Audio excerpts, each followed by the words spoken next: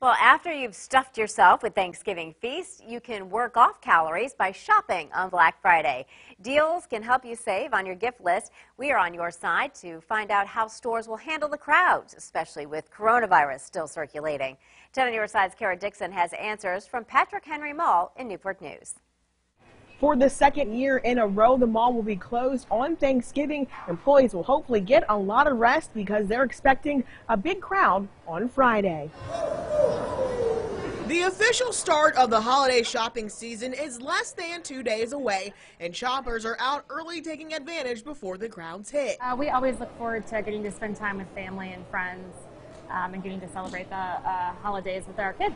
Lindsay Lopez and her family came out to take photos with jolly old St. Nick, but you won't see them stepping foot into stores this Friday. Sure, if we do any shopping, it'll likely be online, um, and we've got other plans for Black Friday um, in the evening, so we won't be out shopping. We, we normally do, though. Lopez believes it could get a little too crowded, and Makia Ross with Patrick Henry Mall says they're expecting a large turnout this year as well. We do expect bigger crowds to be coming out this year. Ross says stores started some of their sales early, but it isn't just COVID-19 that's driving more people out. Only because of the case numbers and things, everything kind of dying down some, but um, with the with the fear that there will be a shortage of inventory, a lot of the stores are offering these um, offering these great, amazing deals early. So we think people are going to want to take advantage of these specials now, in case things aren't an, an, inventory uh, shortage um, comes upon us early.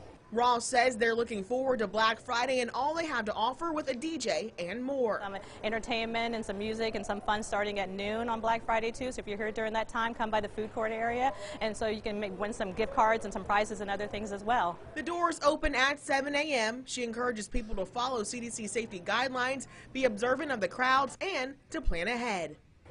For all the holiday hours for Hampton Roads malls, head on over to wavy.com. In Newport News, I'm Kara Dixon. 10 on your side.